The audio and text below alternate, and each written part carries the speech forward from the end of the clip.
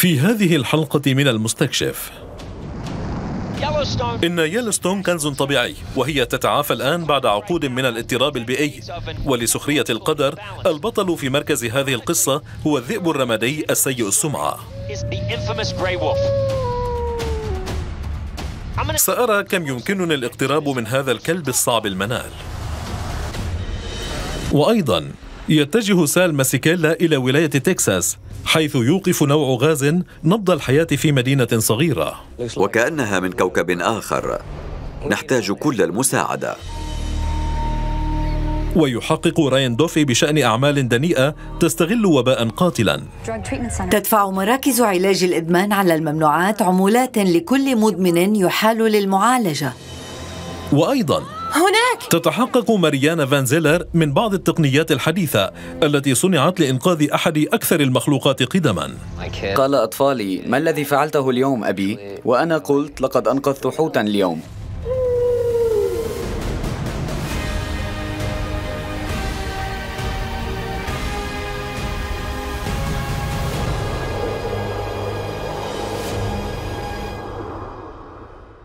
أهلا بكم إلى برنامجنا. أنا فيل كوغن.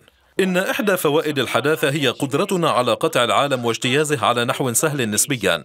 لكن أحيانا ننقل عن طريق الخطأ ضيوفا غير مرغوب فيهم. وفي إحدى مدن تكساس لم يأتي ضيف غير مرغوب فيه وحسب بل اجتاح كوحش آت من فيلم خيال علمي.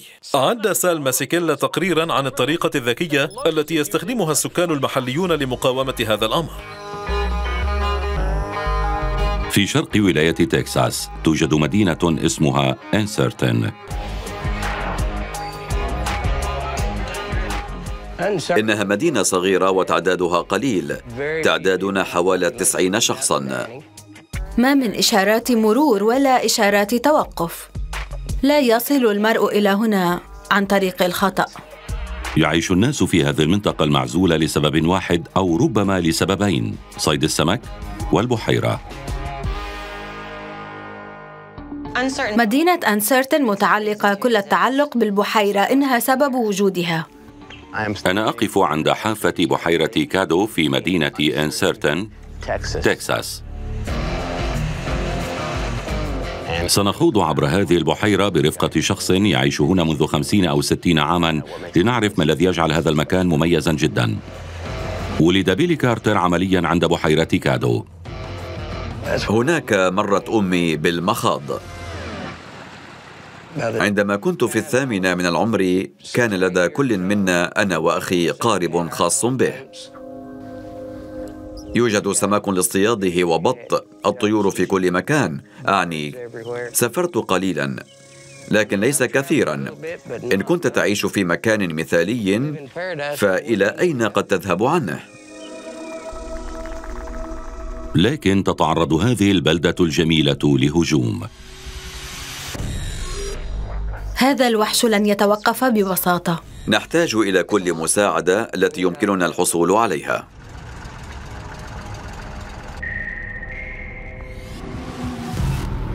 ما كل هذه الأشياء بيلي؟ إنها نبتة سلفينيا العملاقة التي غزت بحيرتنا.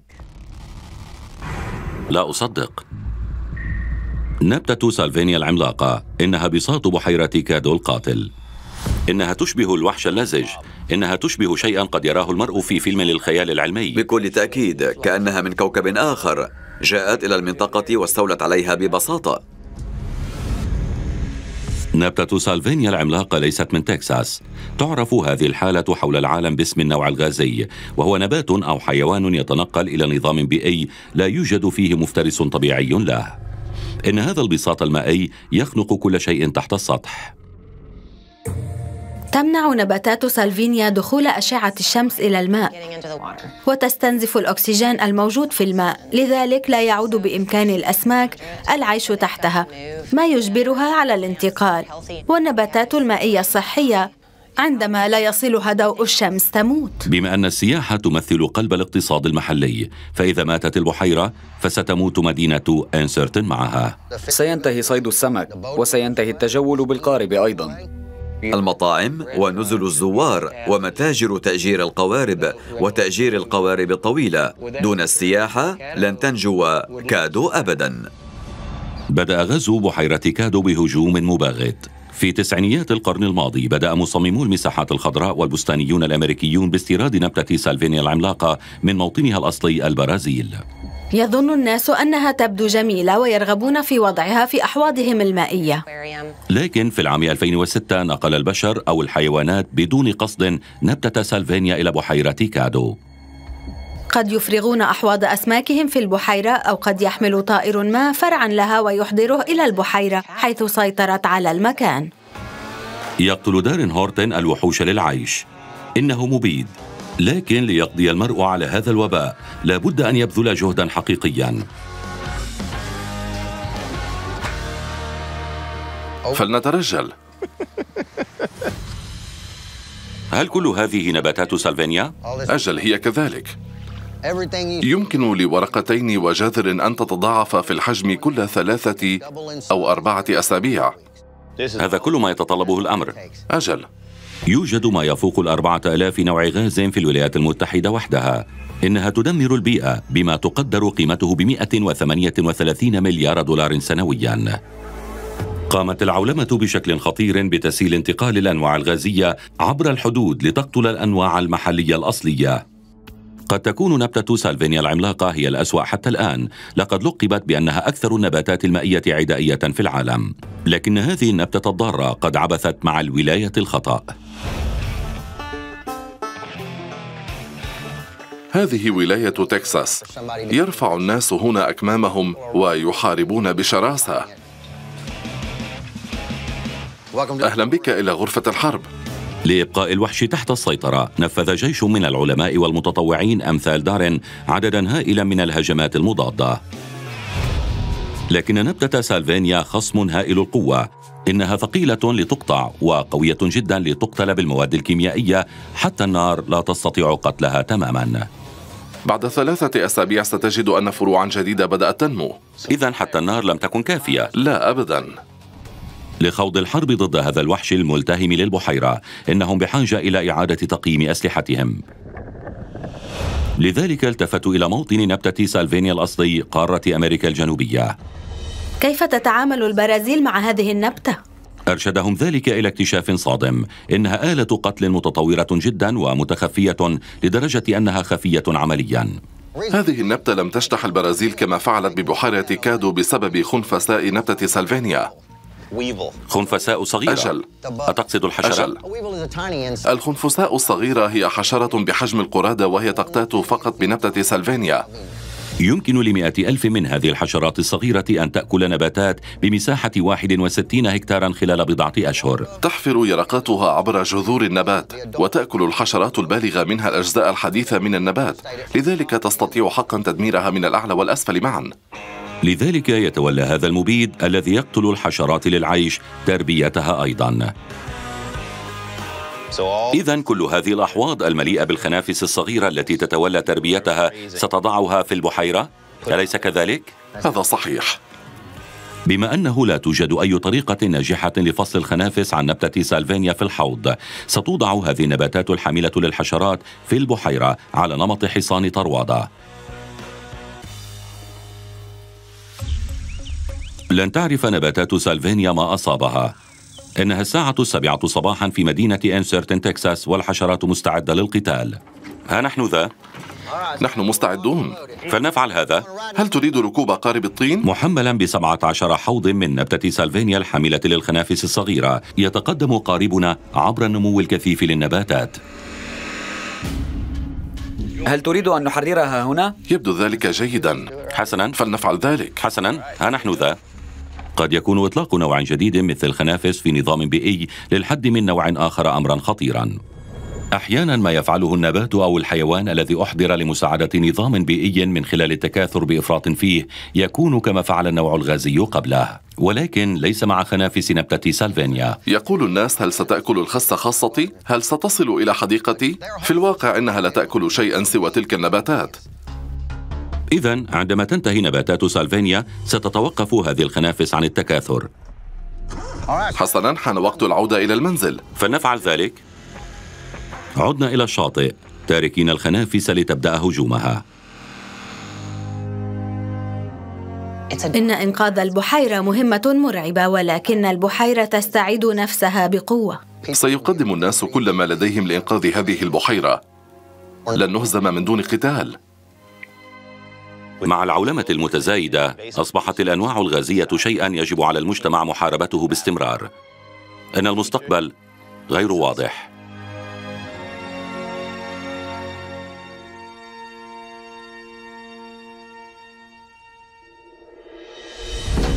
التالي كيف تهدد الحداثة نوعا مهددا بالانقراض؟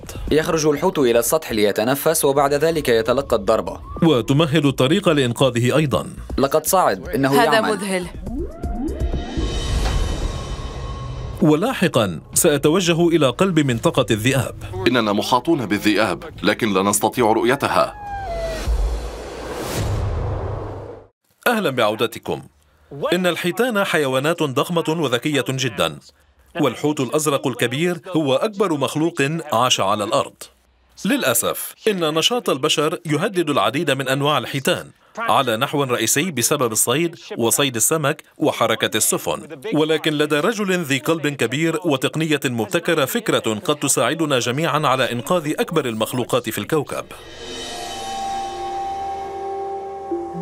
أنا ماريانا فانزلر في فانتورا كاليفورنيا. من هنا يطلق علماء الأحياء البحرية مهمة لمحاولة حل إحدى أكثر المشاكل المأساوية التي تواجه الحيتان المهاجرة. نحن هنا لنقابل دوغ مكالي من جامعة سانتا باربرا الذي سيقود البعث.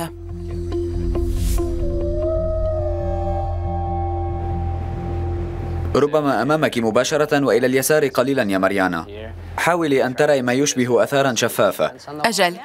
إنه نوعا ما آخر مكان له. يا للهول. نعم. لا إنه أصدق. هناك عند كان المقدمة. هذا جنونيا. ذلك أحد الحيتان نعم الحدباء إنه حوت أحدب. إذا هل ما زلت تتحمس كثيرا عندما تراها؟ وكأنني حقاً؟ طفل. الأمر مميز في كل مرة. ما المشكلة التي كرست نفسك لحلها هنا؟ سوف نستقر هناك. قرب مسارات السفن التي تتجه نزولا إلى ميناء لوس أنجلوس وإلى ميناء لونغ بيتش. إنهما أحد أكثر الموانئ نشاطا في العالم بأسره. وللأسف في المكان الذي تحدث فيه كل هذه الحركة حركة سفن الشحن التي تتحرك يوجد أحد أفضل أماكن الصيد أفضل أماكن توافر الطعام في العالم بالنسبة للحيتان. وللأسف فإن بعض هذه الحيتان مهدد بالانقراض. إذا ألا تعرف السفن أن الحوت هناك؟ كيف يحدث الاصطدام؟ إنها سفن ضخمة كما تعلمين. بعض هذه السفن قد يصل ارتفاعها إلى عشرات الأمتار وهي تنطلق بسرعة عبر مسارات السفن. قد يحدث أن يصعد حوت لكي يتنفس وحينها يضرب. يصطدم بالسفن.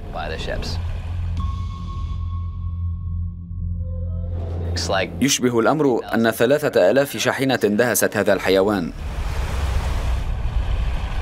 قد تذهب تلك السفن إلى الميناء وقد ترسو ويرمي أحدهم الحبال ويربط البحارة السفينة بالميناء وبعدها ينظرون إلى الأسفل ويقولون هناك حوت أزرق ملفوف حول مقدمة السفينة. ذلك مأساوي جدا حقا. إننا نستخدم التكنولوجيا لنجد حلا. سيساعدنا على كشف متى تكون الحيتان موجودة. وسنرسل تلك المعلومات إلى شركات السفن لكي تأمر سفنها بالإبطاء لكي لا تدهس الحيتان. لجعل ذلك يحدث يقيم دوغ وفريق من التقنيين مشروعا رائدا هنا على محمية جزيرة سانتا كروز. على نحو دوري. تمر أكثر من 50% من السفن الآتية إلى الولايات المتحدة والمتوجهة منها عبر محميات الساحل الغربي مثل هذه المحمية. أعلى نقطة في هذه الجزيرة هي نقطة تعرف باسم قمة ديابلو. إنها المكان المثالي لتركيب أجهزة الاستشعار المتطورة التي ستستطيع رصد الحيتان وتحذير قادة السفن من الاصطدام الوشيك. لماذا أصبحت مهتما بالحيتان؟ في أحد الأيام كنت جالسا في مكتبي وتلقيت اتصالا من خفر السواحل وقالوا لي مرحبا إننا نواجه مشكلة هنا. لدينا حوت أحدب صغير وهو عالق في مؤخرة هذا المرفأ. أنت عالم أحياء بحرية ويمكنك مساعدتنا وظننت أنه ربما يمكننا فعل شيء حيال ذلك. فبدأت بالبحث في ملفات البيانات لدينا في مكتبة البيانات لمحاولة إيجاد صوت نداء خاص بالحوت الأحدب ووجدت نداء خاصا بالأكل. ذهبت إلى المرفأ مسرعا وبعد ذلك أخذنا بعض مكبرات الصوت تحت الماء ووضعناها في بداية المرفأ وبدأنا بتشغيل صوت ذلك النداء. لقد سمعه الحوت وخرج من مكانه في منتصف الليل.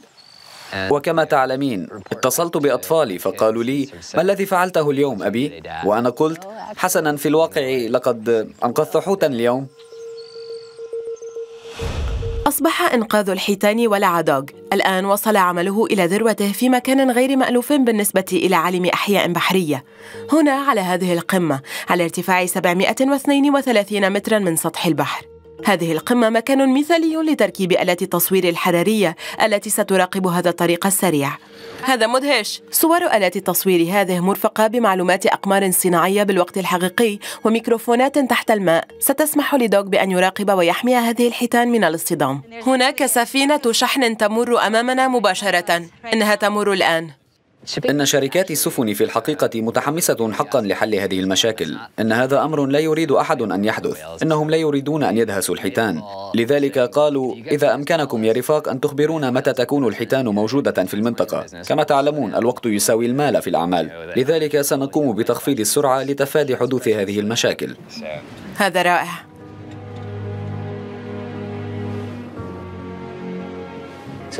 إذا ما نبحث عنه في هذا المحيط البارد والمظلم والرمادي على الشاشة هو مجرد إشارة من البياض التي ستكون منطقة ساخنة يطلق الحوت الهواء فيها. مذهل انظر إلى هذا. لقد صعد. إنه يعمل. تهانينا. إنها بداية. النظام يعمل. شكرا. استحق الأمر عناء الرحلة. إن هذا رائع.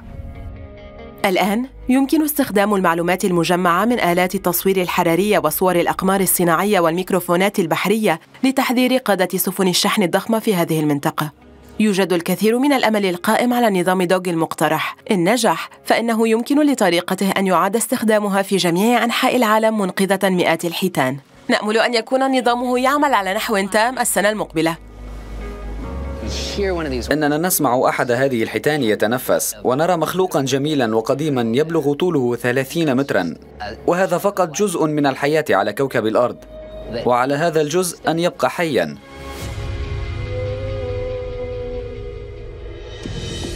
التالي تقوم شركات تساعد الذين يمرون بمحنة عوضا عن ذلك باستغلالهم لتحقيق أرباح هائلة. إنهم يدفعون عمولات ليوضع أناس ضمن برامج علاجهم. يا للهول. ولاحقا لأتتبع بطل يلوستون غير المألوف أتتبع مسارا من التوحش. هل هذا من صنيع ذئب؟ هذا دليل وجودها.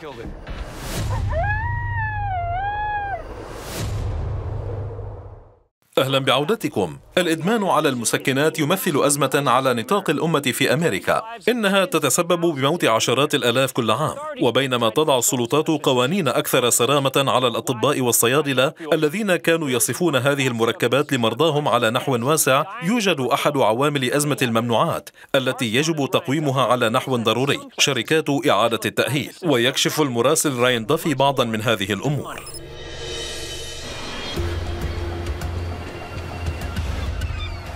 أنا راين. إن أمريكا تواجه أزمة مسكنات وأصبحت مهنة إعادة التأهيل عملا ماليا كبيرا ولسوء الحظ قد يكون إبقاء الناس مدمنين على الممنوعات أكثر ربحا من جعلهم يتعافون. أنا هنا في فلوريدا لأستكشف شركات إعادة التأهيل والناس الذين يكافحون للنجاة منها. حسنا عزيزتي تناولت غداءك؟ أجل.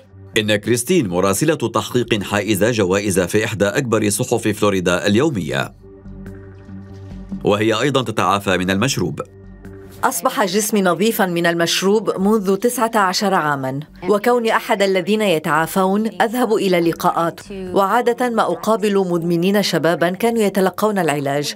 إنهم يبلون بلاء حسنا. بدأ أنهم يتحسنون لكنهم كانوا يتدهورون. لذلك بدأت أطرح الأسئلة.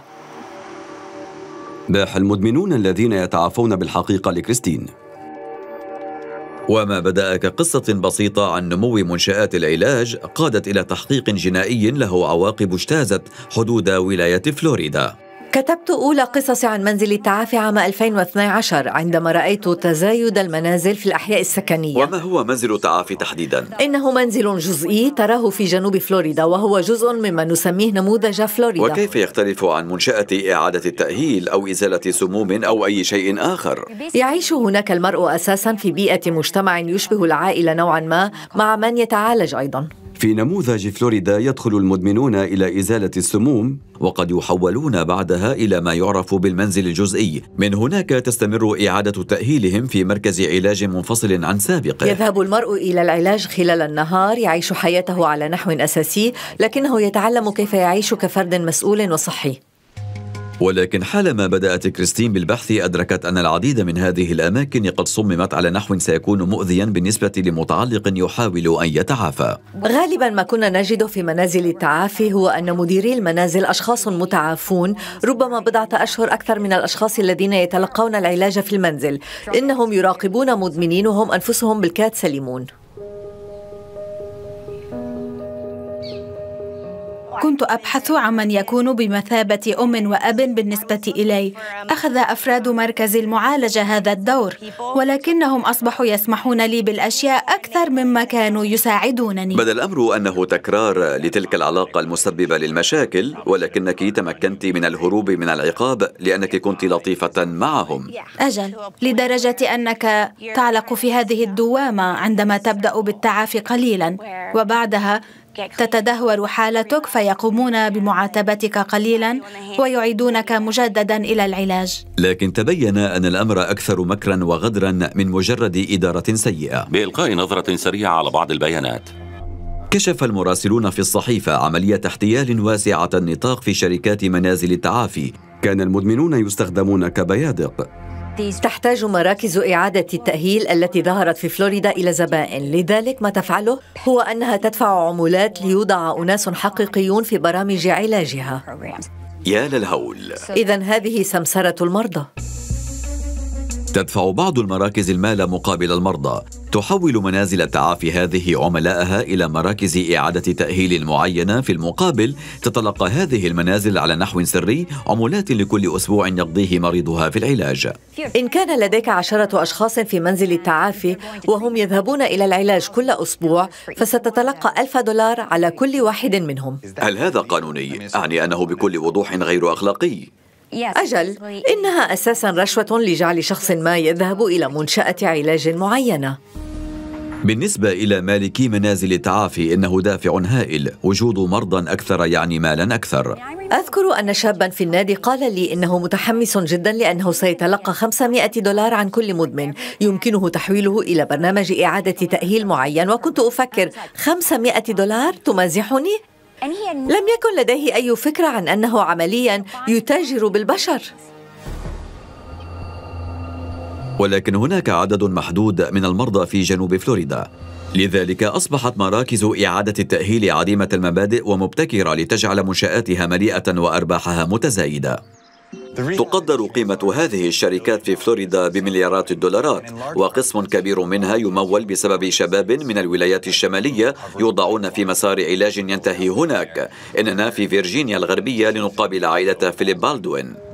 لقد جرى حديثا إلحاق فيليب بمنزل تعاف في مقاطعة بالم بيتش. أريد أن أعرف القليل عن فيل كيف كان في طفولته. لقد كان نشيطا لكنه كان سعيدا. كثيرا ما كان يرسم الضحكات على وجوهنا. كانت لديه نظرة مميزة للعالم. كان يقرأ شيئا ثم يأتي ويقول لي إنه قد قرأه أو كان يسألني أسئلة عن أشياء لا نسمعها عادة من طفل. لطالما ظننت أنه سيكون شخصا مميزا. ولكن حياته اختلفت في سنوات مراهقته عندما بدأ بتجربة العقاقير. بعد ذلك أصبح متعلقا بأدوية مسكنات الألم ثم تعرف على المسكنات الممنوعة. أخبرني عن فلوريدا. لماذا ذهب فيل إلى فلوريدا؟ ولماذا فلوريدا تحديدا؟ في صيف العام 2015 جاء إلي وأخبرني ببساطة أنه خارج عن السيطرة. وأنه يحتاج إلى الذهاب إلى مركز إعادة تأهيل. لذلك أخذته إلى مؤسسة الطب النفسي في واشنطن. أزيلت السموم لديه هناك. وكان الشيء التالي الذي أعرفه أنه اتصل بي وأخبرني أنه ذاهب إلى مركز إعادة تأهيل في فلوريدا. وقال إن ذلك المركز سيدفع تكلفة طيرانه وكل شيء. بالنسبة إلى مراكز التأهيل التي تسعى لتحقيق الربح كان فيليب المريض المثالي. يستطيعون فرض معدلات رسوم تأمين هائلة لأنه جاء من فيرجينيا الغربية. هذه فاتورة يوم واحد. قيمتها تفوق الثلاثة ألاف. ولكن الفواتير المفصلة تتضمن فحص مختبر تشخيصيا فحص مختبر تشخيصيا وعناية علاجية مقابل أكثر من ألف دولار. أجل. وهذا مجرد يوم واحد. أجل بالضبط. تواجه أمريكا أزمة ممنوعات ولسوء الحظ فإنه بالنسبة إلى البعض في مهنة إعادة التأهيل فإن إبقاء الناس مدمنين على الممنوعات أكثر ربحا من جعلهم يتعافون. وتتخطى بعض المراكز الحد من الطمع إلى الاحتيال في التأمين. هذه فاتورة يوم واحد. قيمتها تفوق الثلاثة ألاف وخمسمائة دولار. وهذا ليس أمرا غير مألوف. أعني في التاسع والعشرين من يوليو كانت الفاتورة ستة ألاف ومائة وسبعين دولارا. يا للهول إن فاتورة ستة ألاف مقابل يوم واحد في العناية مثير للشبهات. أجل. جرى حديثا استدراج فيليب من مركز إزالة سموم في واشنطن إلى مركز إعادة تأهيل في جنوب فلوريدا حيث كانت بعض مراكز العلاج العديمة المبادئ تحقق أرباحا هائلة على حساب المتعلقين. جمعت قيم الفواتير من شهرين سابقين وكانت قيمتها حوالي 60 ألف دولار مقابل رسوم المنشأة. هذا كم هائل من المال. أجل. إنها عملية احتيال لا تمارس فقط على العائلات غير المرتابة كتوم وابنه فيليب بل على نطاق الأمة كاملة أيضا. في العام 2010 وقع تحويل مرسوم العلاج اليسير إلى قانون وجرى تأمين التمويل. أجل هذا رائع. ووفقا لكريستن التي ساعدت تقاريرها على كشف عمليات الاحتيال الهائلة حولت هذه المراكز سياسات التأمين إلى مصادر أموال. هناك مئات ملايين الدولارات في عمليات الاحتيال على التأمين فقط في جنوب فلوريدا. وأحدى طرق الخداع التي كانت تطبق هي مجيء الشباب من الشمال. وكان مديرو مراكز العلاج يسجلونهم في برنامج تأمين أوباما كير وكانوا يكذبون بشأن مسكنهم في فلوريدا.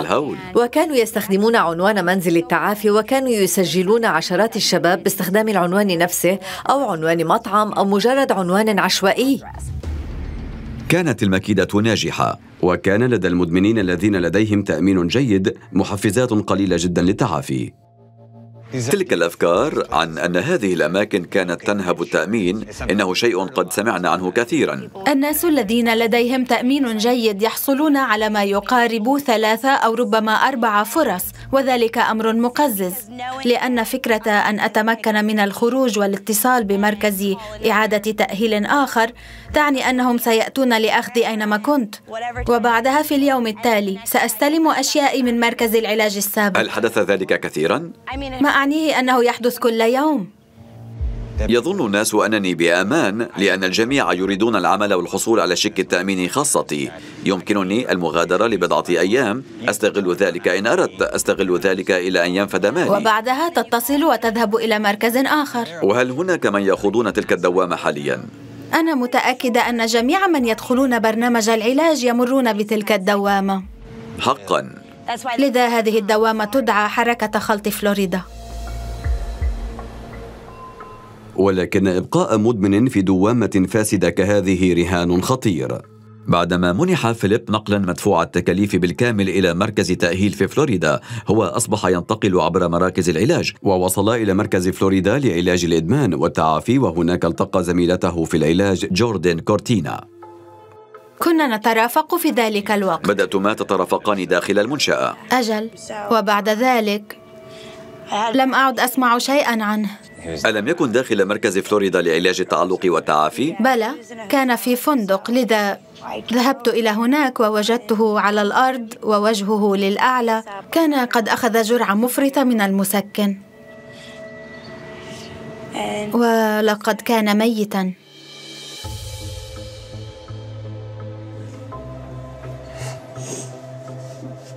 نشتاق إليه.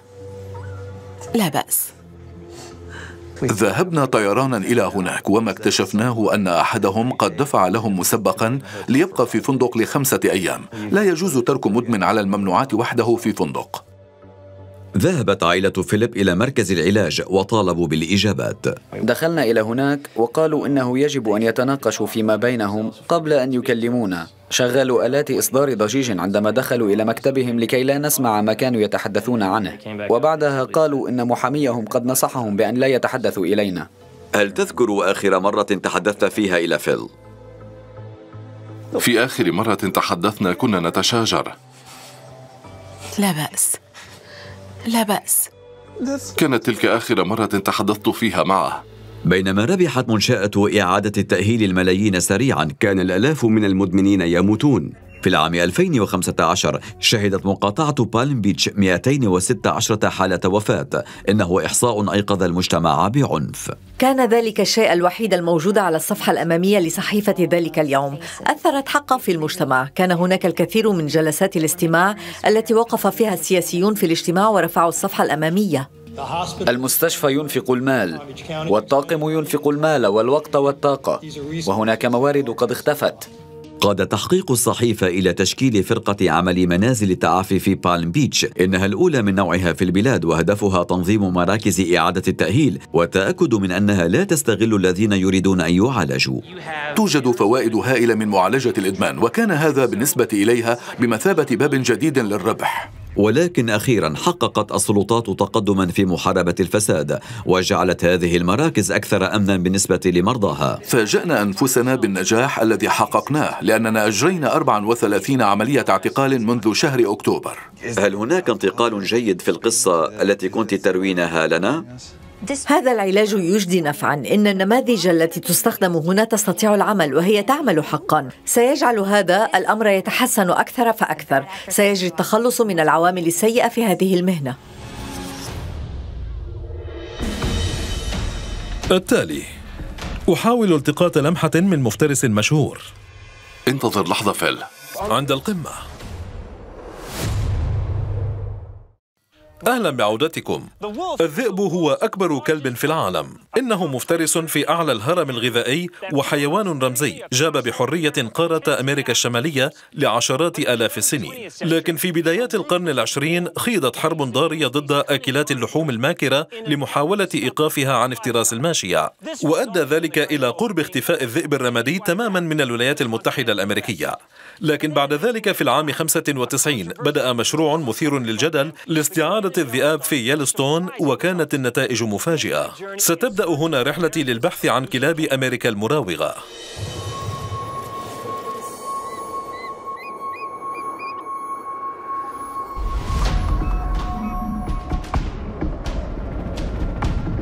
هذه أكثر نقطة نائية في الولايات المتحدة. إنها أول متنزه وطني في العالم يلوستون تمر جبال روكي المذهلة عبر المتنزه تماما. أنا أبعد مسافة صغيرة بالسيارة عن متنزه يلستون الوطني حيث توجد وفرة في الحياة البرية. يوجد خمسة ألاف ثور أمريكي وتوجد أيضا الدبابة الرمادية وأيضا الذئاب وهذا ما سأبحث عنه اليوم.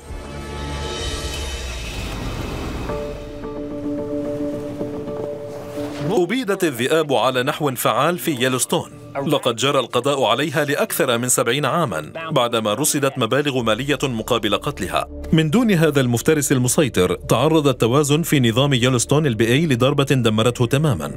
لقد رعت الحيوانات على نحو جائر واختفت الأشجار والنباتات ومساحات واسعة من البرية الكبيرة سابقا قد أصبحت جرداء. اليوم يوجد حوالي 100 ذئب تجوب متنزه يلوستون الوطني.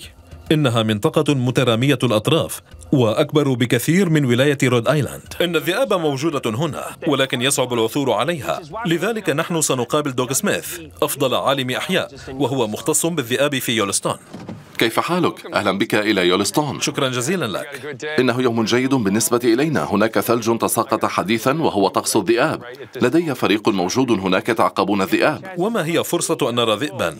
من الصعب جدا إيجاده. سأقوم وحسب بإجراء بحث هنا في هذه الهضبة. يمكن أن تكتشف موقعها. هذا رائع نوعا ما.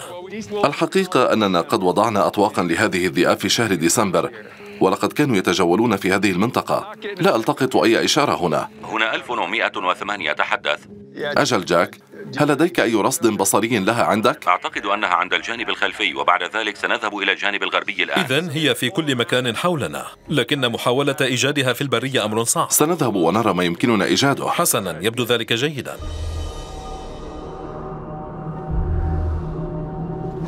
توجد هنا بعض آثار الثور الأمريكي وبعض آثار الظبي أيضا. عادة ما تكون هذه الحيوانات طريدة الذئاب. إنها لا تحب صيد الثور الأمريكي كثيرا والأسباب واضحة. أجل. للحجم أهمية. أجل. أجل. دوك.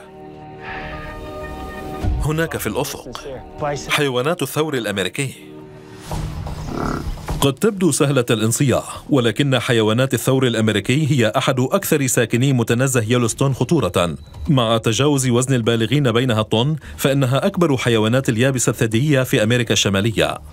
على الرغم من وزنها إنها رشيقة جدا وتصل لسرعة 56 كيلومترا في الساعة ولها تاريخ في الهجوم على البشر إذا شعرت بالتهديد. سنحتاج إلى الاستدارة حولها. سندور حولها. أجل. أحب هذه الفكرة. إنه متنزه بمساحة 8094 كيلومترا مربعا. كم هو عدد الذئاب في متنزه يلوستون؟ حوالي المئة. إذا سيكون هذا تحديا صعبا. أجل سنضع لها أطواقا راديوية. تعتمد كل دراستنا على وجود ذئاب معلمة. الذي يجري في الخلف يبدو جميلا. قم بإعداد السلاح. يستطيع دوغ وفريقه أن يتعاقبوا الذئاب فقط إذا وضعوا لها أطواقا. أنت مستعد؟ إنه إجراء يقومون به سنويا في منتصف الشتاء. أصابه السهم. نلت منه؟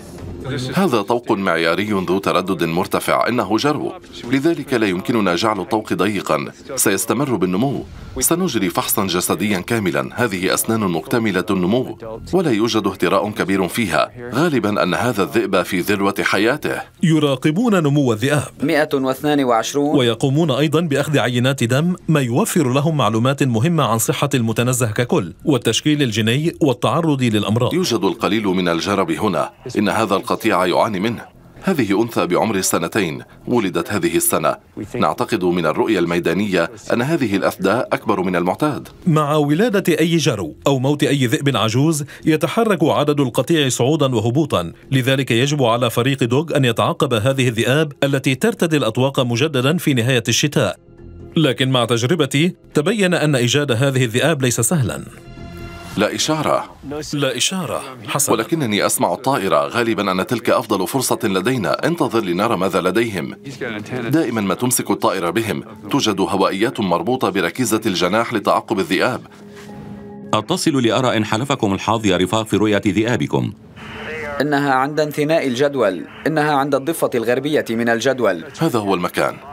رصدنا إشارات جيدة من أعلى هضبة رورينج لكن لم نرها بعد. في ذلك الانحدار الأبيض الكبير يوجد قطيع آخر. أتمنى لو أن لدي اقتراحا لكم ولكن ربما ستخرج قريبا. حظا موفقا بك. إذا لدينا قطيعان موجودان هنا. إذا نحن محاطون بالذئاب ولكننا لا نستطيع رؤية أي منها. أهلا بك في عالم الأحياء البرية. فلنرى إن كان بإمكاننا مساعدة الفريق حسنا. على إيجادها.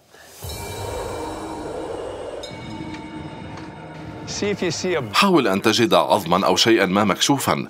هذا ما نبحث عنه. هل تعرف أمرا؟ هذه ضلوع؟ حقا؟ إنه ظبي ميت. لديك عينا الصقر هل تريد أن تسحبها؟ حسنا إذا أجل. يا للهول. إن كانت هذه الضلوع قد انفصلت عن مكانها عضا فهل سيكون ذلك من صنيع ذئب؟ أو ذئب القيوط. إذا ما كان حجم هذا الحيوان أثناء حياته؟ هذا ذكر ظبي مكتمل النمو. إذا عما نتكلم. عن 340 كيلوغراما. في الواقع ستتوافر هنا بعض العظام الأخرى. لا أعلم إن كنا سنجد المزيد. توجد الكثير من الدماء هنا. هذا إثبات على أن الذئاب قد قتلته ولقد نزف وتغلغل دمه عبر الثلج. وذلك شيء نستخدمه كدليل على أنه قد قتل. أعتقد أننا تأخرنا على العشاء. يجب أن نستمر في البحث. فقط عندما نشعر بأننا لن نصادف أي من هذه الحيوانات المفترسة المنعزلة انتظر لحظة. يتلقى دوغ دليلا من حارس متنزه آخر. إذا ما كان الدليل؟ هل هو هنا؟ أجل في منتصف وادي مار يمكن رؤية قطيع من الذئاب وهي تصطاد. سنرى إن كنا سنجدها يبدو ذلك جيدا. ربما على قمة ذلك الجبل. حاول الاستقرار يوجد فقط ثلاثة ذئاب في هذا القطيع. سأحاول الحصول على بعض اللقطات. إننا ننظر على بعد كيلومترين ونصف كيلومتر تقريبا لنحاول رصد ذئب متموه على نحو جيد. أجل. أنا لا أجده. إذا يا دوق قد تكون هذه آخر فرصة لدينا صحيح؟ أجل ما أعنيه؟ انتظر لحظة. يجب أن تتفقد هذا. أجل رأيتهما. إن هذا رائع حقا. إنهما زوجان يتتبعان أثرا. إنه انتقال ذئاب تقليدي. يبدو أنهما يتعقبان رائحة ما. ربما هي استراحة مرحاض. هذا مذهل حقا. إنهما يتحركان. أجل. إنها تمشي فوق ثلج عميق. وتتبدل القيادة الآن. لا أصدق أننا رصدنا ذئبين ربما على بعد كيلومترين ونصف الكيلومتر. الآن يجب أن يكون هناك ذئب ثالث. قد يكون الذئب الثالث في القطيع موجودا هناك. انتظر. هل هناك ذئب عند القمة؟ هناك. أجل إنها والدة تلك الأنثى الأخرى. يا للهول يمكنك أن تسمعها تعوي هذا مذهل. كما تعلم توجد ثلاث طرق لتجربة تعقب الذئب. أن تراه وأن ترى آثاره ولكن سماع صوت عوائه هو أفضل طريقة. ها هما يذهبان. لقد سمعت صوت عوائها يتوجهان إلى أمهما. أجل إنهما يبحثان عنها. كما تعلم إن طبيعة الذئاب الاجتماعية جزء كبير من حياتها. هذا مميز حقا. هذا ما جئنا إلى هنا من أجله. أجل أعني لا أصدق كم أنت محظوظ. نحن البشر قادرون على فعل أشياء مذهلة إذا اتخذنا الخيارات الصحيحة. وأوجدنا التوازن على كوكب الأرض تماما كما فعلنا مع الذئاب هنا في يلوستون. هذه نهاية مغامرة هنا. تذكروا العالم واسع والرحلة تستمر. في الحلقة المقبلة من المستكشف.